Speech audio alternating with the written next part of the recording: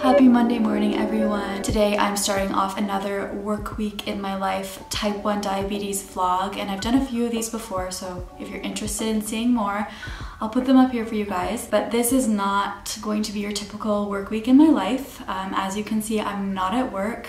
I'm in my attic actually, and this is where I'm doing my work. And I've been working from home for the past week. This is my sixth day of working from home, and I think we can all know why. I am social distancing, I'm in self isolation because of the current global pandemic that's going on. I feel like we see so much of this in the media and it's really making us have a lot of anxiety globally. So I want to keep this vlog light and positive and just show my current work week situation working from home. But at the same time, I want to address this because we're all going through this. This is really affecting all of us. But even before I chat about that, I'm sitting here with my tea and I feel a tear and I'm just wanting to check out what's going on. Oh no. Yeah, so I'll show you what's going on. So my pump site has been pulled and it is like hanging by thread. Cool, cool, cool. Time to change that.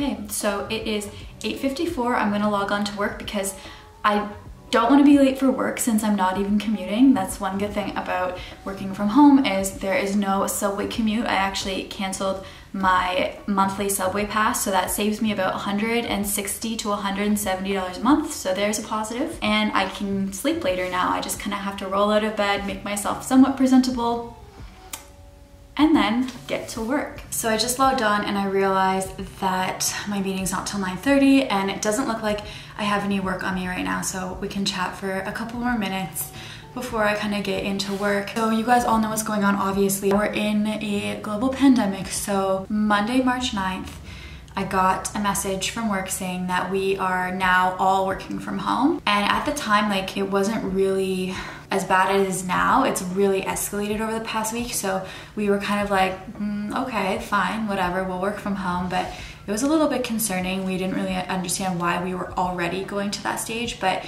something that I'm realizing now is like I work in the health field. So my work was just like really on top of things and they understood that this is a matter of public health and we all need to stay in to prevent this from getting really bad like it has in some other countries. So I'm really really grateful that my work is on top of things and like allowing us to work from home. I fully understand that this is not the case for everyone and I know a lot of you guys watching out there are not able to do this. I know especially people that work like in retail, in banks, especially healthcare workers, you guys are really the heroes in this and I have so much appreciation for you guys and all that you're doing right now. Where I'm at right now with this is I'm not panicking. I know it's gonna be okay, but I know in order for it to be okay, we really all need to do our part and just stay in as much as we possibly can. I live with type 1 diabetes, it's a chronic disease, so that leaves me immunocompromised and therefore I am at higher risk when it comes to COVID.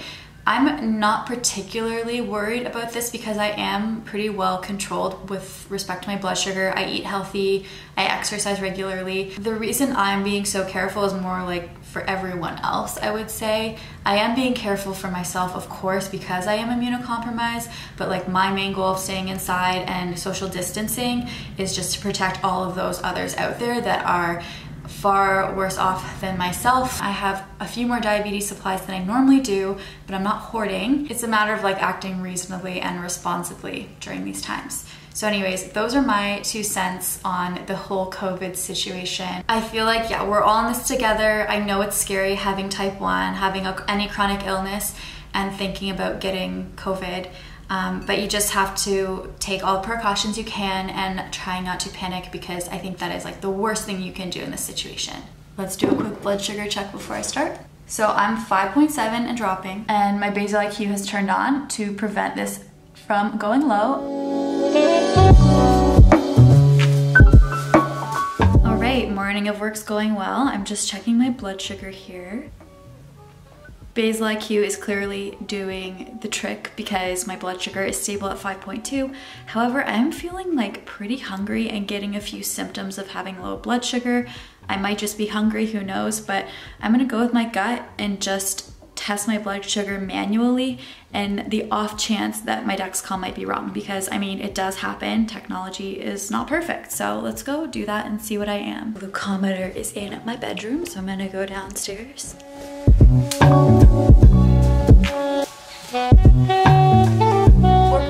So my glucometer says 4.9, my Dexcom says 5.2. So it's actually pretty close. I'm heating up my lunch. My husband Rafi's also working from home status. And I am just having leftovers from last night, from last night's dinner, just some pasta and it's 30 grams of carbs. We're getting very sick of cooking, so we're trying to make sure that when we cook, we have leftovers. Afternoon update, I am still working. I don't have a lot of work to do today though, so it's been a little bit slow and my blood sugar is high. I am at 12.3 and rising. I'm gonna give some insulin, I'm gonna give a correction on my pump and also do a few like push-ups and sit-ups.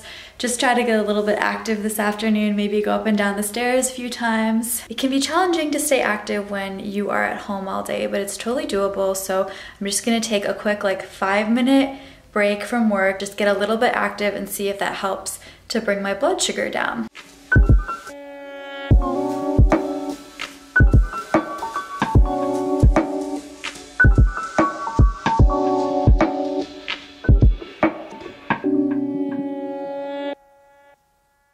Okay, and that is a wrap on day six of work from home for me, day two for you. How are you feeling about it? I guess it's starting to get kind of lonely. Well, I'm here. Yeah, I know, but we're isolated from I the rest of know. them. I think it'll be fine. We're doing well so far. We just need to stay positive. Tonight for dinner, we're making a chickpea couscous salad. Or salad. quinoa. quinoa salad. Hopefully this vlog isn't like super, super boring, but we'll see how it turns out. Good morning guys. Welcome to day seven of work from home. It's a pretty gloomy, dreary day out. So I don't know if I'm gonna really like go outside at all today. Something I didn't show yesterday is I do go for walks regularly. So I went for a walk during my lunch break yesterday and then I went for a walk right after work yesterday. I just didn't show it because I obviously don't want to show my neighborhood in the vlog, but that is something I'm doing regularly to keep active on top of doing like little exercises in home like you saw yesterday. I think it's like really important to stay active during this time because we're so sedentary now. Like I went from doing like a pretty big commute to not doing my commute at all. So I found that I require more insulin in the morning now just because I'm not walking as much as I used to. I'm just basically getting out of bed and going to my computer and working. Definitely an adjustment period, but totally doable. This morning I'm about to get to work. I have a nine o'clock meeting again, but I need to put tape on my Dexcom site. So for my Dexcom, if you've seen my video on how I keep it on for 10 days, I'll put it up here for you guys if you haven't. I usually start off by having an IV3000 on for like four, five days, and then it starts to peel off. Then I take that off and replace it with another tape, either another IV3000 or something else. I'm riding at a stable 8.8. and I'm fine with that, and I have some insulin on board from breakfast, so might come down from that. And yeah, gonna get to work. Hope you guys are doing well.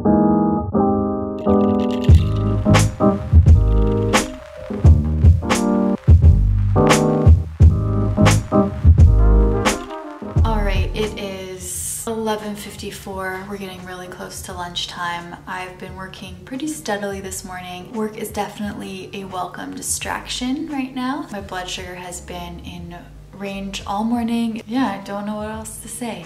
Crazy times we're living in. I'm finding I have to limit my media intake just because I do find I get really like overwhelmed and I start feeling a lot of anxiety when I do look at the media a lot. Obviously, it's really important for us to like keep up and stay informed, but when it becomes obsessive, like obsessively checking the news, it gets to be overwhelming. So, just a tip if you guys are experiencing a lot of anxiety, just like limit how much you look at the news. Let's go eat lunch. Excuse this outfit. It is my work from home outfit, I guess, my house coat. Yep, you guessed it, leftovers, and we have not measured out this quinoa, but luckily I've had this many times so I can do a pretty good assessment of how much I would bolus for this. Maybe like 40 to 50 grams of carbs for that, I'd say. Okay, I'm all done lunch and I'm technically still on my lunch break, so what I'm doing now is I have my little journal here that my friend Abby actually gave me for my birthday this year. And I've made up an isolation list of things that I want to do while we're in isolation, like things that I've kind of been putting off and things that need to get done around the house. Um, So like just a few chores here. Um, I have that I want to make granola bars because I haven't for a long time. So I'm gonna make sure I have like all the ingredients I need for whenever our next grocery run is. Something else I want to start doing is maybe like sign up for some online classes, like do some online yoga or Pilates or something since I'm cooped up. Also in this journal, I have like an exercise slash physio routine for me to do and I do it every single night, like without fail. This is just to take care of myself. Like it's very light and quick. And I think I'll stop vlogging for today just because like honestly, every day is very similar and I don't want to bore you guys. So I'll see you guys in a bit.